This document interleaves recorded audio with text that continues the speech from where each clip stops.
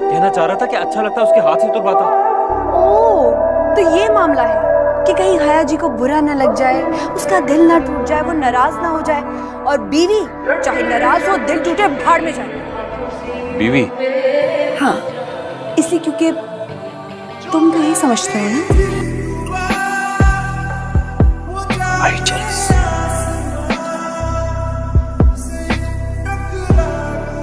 no I am not लेकिन इन तमाम हरकतों की वजह से जो मेरी बेजती हो रही है, वो मुझे बर्दाश्त बिल्कुल नहीं है।